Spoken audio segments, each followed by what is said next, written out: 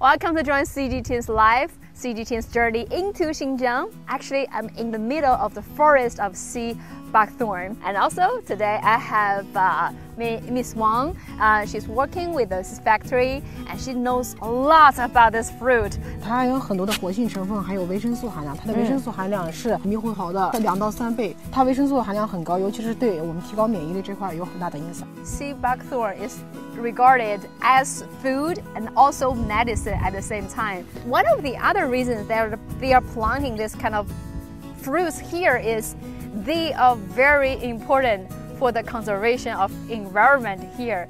10 years ago, this place was still just a desert, Gobi Desert, but now it has some forest.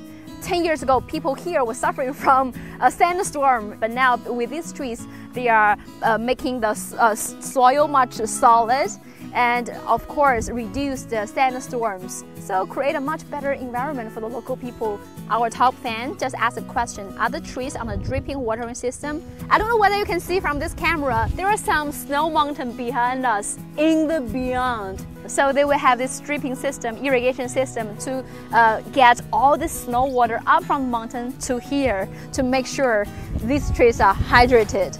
Someone from Facebook asked a question, Kosa Ahmed. It is fruit eat fresh and raw, or it may eat after cooking. You can eat it fresh and raw.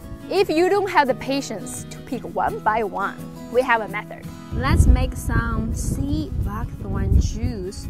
它颜色是很漂亮的。Mmm. Mmm. It's very sour almost a little bit bitter, but still, it tastes good. Like so many different layers of flavors coming out. Mmm, I have